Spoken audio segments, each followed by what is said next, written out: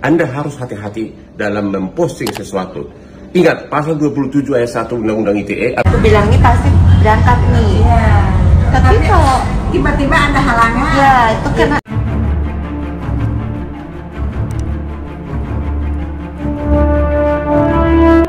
Oke, sudah saya sudahi semua ini. Sahrini murka tak segan-segan inces polisikan orang yang berani usik hidupnya ini hingga tangkap begini. Wanita bernama Sahrini memang dikenal memiliki khas dalam setiap penampilan dan berbicara. Namun jangan tanya saat dirinya diusik maka tidak segan. Dia melaporkan para pemilik akun yang dinilai sudah keterlaluan hingga menyebar fitnah ke pihak berwajib. Saat masih lajang, ia sudah pernah melakukannya kepada para hater tanpa tembus publik.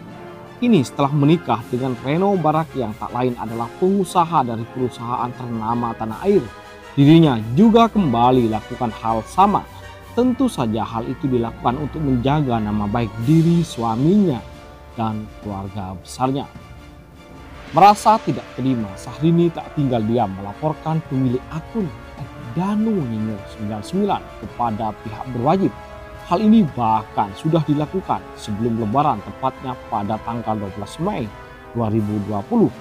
Kabar ini justru baru terkuat sekarang.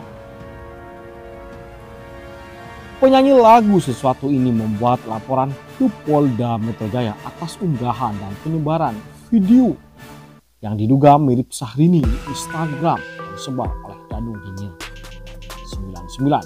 Hal ini dibenarkan oleh Kabit Humas Polda Metro Jaya, Kombes Pol Yusri Yunus.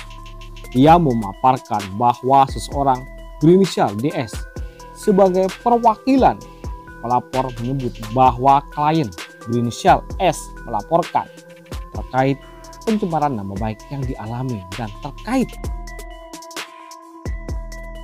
Pol yang dilakukan akun dan Nyinyir 99. Pihak Sahrini atau pelapor membuat laporan dengan pasal 27 JU pasal 45 Undang-Undang IT dan pasal 4 Undang-Undang nomor 44 tahun 2008 tentang PON dengan ancaman penjara selama 12 tahun penjara bagi pelaku sejak tanggal 12 Mei yang lalu. Ada seorang inisial DS yang melaporkan ke Polda Metro Jaya.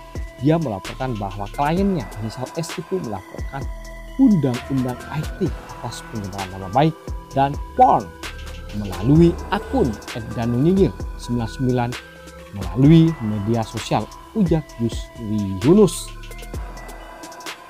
Bahkan laporan tersebut telah mendapatkan respon berupa penyidikan.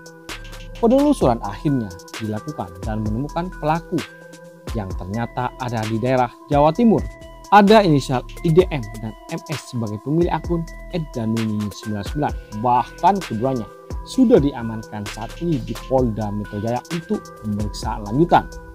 Kemudian oleh tim penyidik khusus Polda Metro Jaya dilakukan penyidikan dan berhasil mengamankan seseorang di sekitar daerah Jawa Timur inisial IDM dan saudari NS sebagai pemilik akun selanjutnya. Itulah guys pemurkaan Sahrini dan dijawab dengan pelaporan atas salah satu akun gosip.